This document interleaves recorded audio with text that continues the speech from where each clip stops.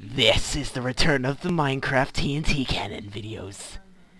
And this is our first attempt. Oh wait, hold up, don't push anything. This is probably to end up killing me, so I'm to make one last couple adjustments. Yes, I did hack these. But who cares?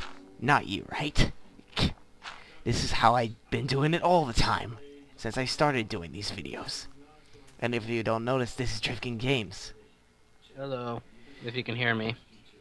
This is Fraps, don't worry, it can hear you. Now we just get rid of this little